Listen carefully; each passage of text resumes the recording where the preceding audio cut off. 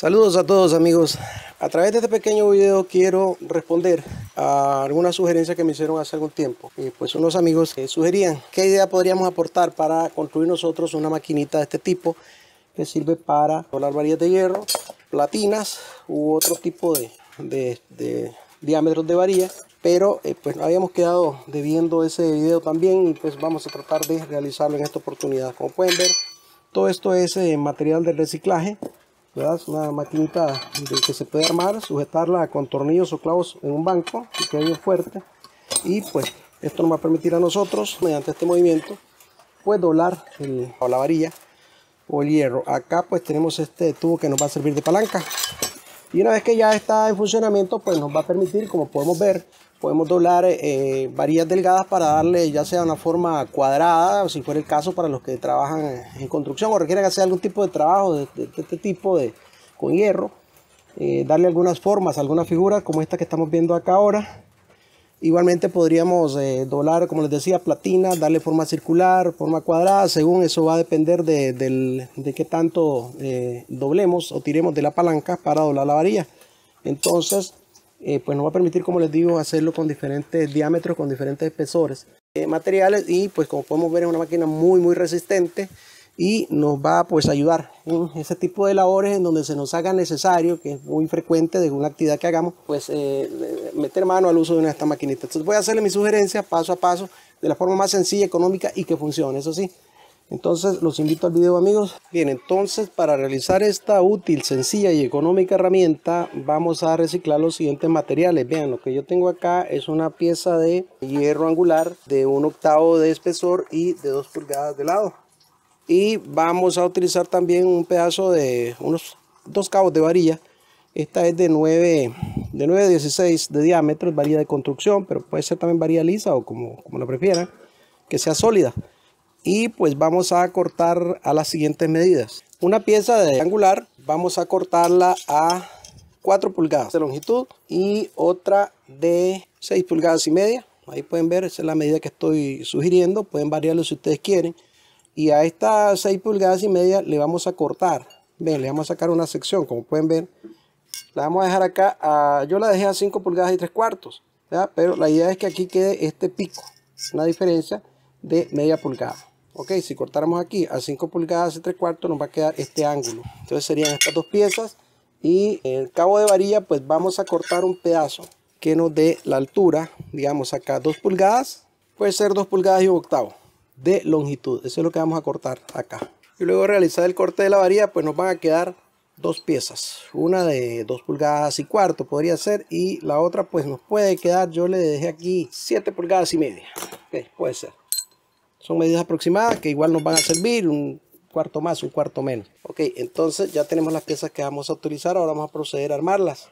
Ok, en el paso siguiente vamos a perforar acá un orificio donde vamos a introducir esta varilla, este pedazo de varilla de 916. Entonces el, el, orificio tiene que ir acorde al diámetro de la varilla.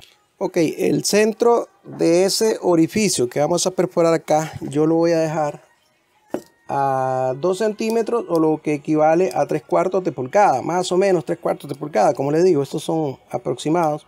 De aquí a aquí 3 cuartos de pulgada y de acá, de este borde, vamos a dejarlo, podría quedar perfectamente a una pulgada, de aquí a una pulgada. Ok, aquí tenemos el centro de ese, de ese orificio que vamos a abrir entonces, ahí perforamos un orificio por donde quepa este cabo de varilla. Bien, entonces acá tenemos ya el, orificio en donde lo habíamos marcado. Por acá pues va a caber la punta de la varilla para soldarla y dejarla ya unida a la platina. Y le hemos abierto estos dos orificios también en donde podríamos posteriormente colocar unos tornillos o unos clavos para sujetar esta pieza o la herramienta a un banco de trabajo que igual podría ser con sargentos, pero bueno tiene las dos opciones. Ok, entonces vamos a soldar esta pieza acá, que nos quede perpendicular acá, ¿verdad? Que no nos quede inclinadita para allá ni para acá, que quede recta. Mira, acá tenemos entonces ya la varilla soldada a la platina y para el paso siguiente entonces vamos a tomar la otra platina, el otro, la más pequeña, la vamos a, unir acá, que haga contacto ahí estas dos piezas, ¿ven? Se viene montando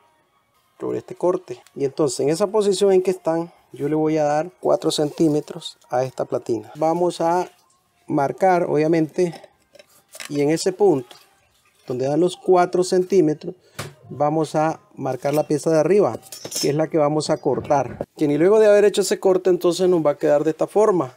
Esta pieza es la que va a ir acoplada acá en, el, en esta varilla, por lo cual tenemos que abrir un orificio por donde quepa esta varilla, ven, así, de esta forma, ven, y esta pieza pues va a girar acá, pero para que gire es necesario hacerle un, corte aquí eh, semicírculo para que pueda pues acoplarse a la curva que va a hacer. Entonces eso obviamente lo vamos a ir eh, devastando y probando devastando y probando para ver en qué momento da el giro completo hacia acá sin que tope con esta otra pieza. Entonces yo voy a devastar, ir devastando poco a poco para irle dando esa curva bien entonces la forma que yo le di fue esta. Como les digo esto ustedes lo van a ir ajustando de acuerdo a pues qué tanto quieren que gire esta pieza.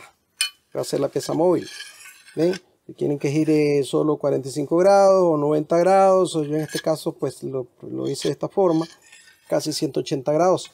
Pero eso tiene que ver con el debaste que le vamos a hacer aquí para que la pieza gire sin que tope con esta otra esto nos va a permitir hacer eh, eh, dobleces más cerrados. Ok entonces ya que tenemos esta pieza aquí vamos a soldar este pedazo de varilla acá. En puro centro de esta forma. Que nos quede así.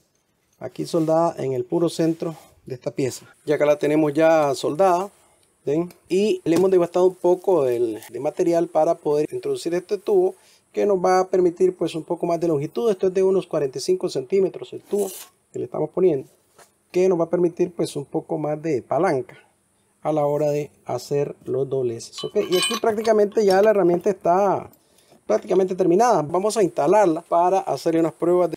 bien acá tenemos instalada nuestra herramienta en el banco de trabajo. Como pueden ver hemos puesto unos tornillos y pues la hemos sujetado de modo que nos permita trabajar. Obviamente ya esto va a depender pues de las medidas y lo que ocupen ustedes hacer eh, las medidas que quieran darle bien entonces le vamos dando la forma. En este caso pues los ganchos normalmente son cuadrados y a la medida como les digo que nos haga falta. Entonces ahí simplemente vamos aplicándola. Y acá pues tendríamos lo que podría ser, obviamente los que saben hacer esto lo hacen mejor, ¿verdad? Pero esta es la idea, así podríamos hacernos esta, pieza. Igualmente si quisiéramos hacer, eh, digamos, piezas con forma circular, pues simplemente aquí lo que vamos a ir haciendo es aplicando a poco eh, el giro de la máquina. ¿Ven? Si quiero yo darle una forma circular a esta, a esta varilla, ¿ven? ahí le voy dando los empujes o los intentos que hagan falta ahí la vamos cerrando hasta donde querramos. E igualmente pues podemos hacerlo por este lado. Si quisiéramos hacer por ejemplo una vuelta digamos más, más pequeña más cerrada simplemente le damos más giros más eh, inclinamos un poco más el giro de la máquina de esta forma. Aquí nos queda más cerrada la, la circunferencia, el aro. Ven, y de esa forma, pues con creatividad, con ingenio, podemos ir obteniendo diferentes figuras, como pueden ver. También nos permite doblar eh, platinas planas, como esta, por ejemplo. Si quisiéramos darle, por ejemplo, forma circular, pues igual, simplemente vamos dándole eh, poco a poco. La vamos doblando hasta darle la forma de un círculo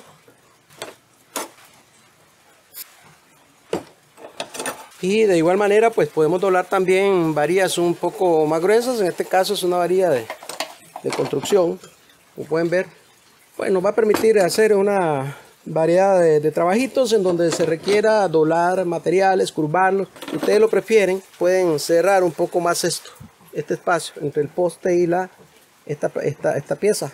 Ustedes calculan donde les sea conveniente. Amigos, entonces esta era la sugerencia que quería hacerles. En realidad, eh, pues a mí hace tiempo me habían solicitado que les hiciera una sugerencia de cómo fabricar una maquinita de estas.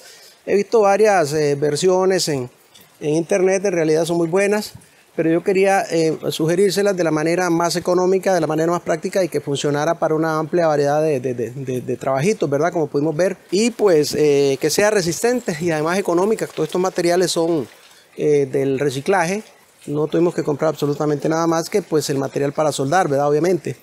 Entonces yo espero que acá ya con esto, con esta idea, pues quizás si ustedes consideran hacer alguna mejora, pues también es válido. Igual que en todos eh, los videos en donde yo hago sugerencias de montajes de este tipo, pues comento que es eh, posible cualquier mejora que ustedes puedan hacer. Eso me gusta mucho también, pues que ustedes hagan alguna mejora.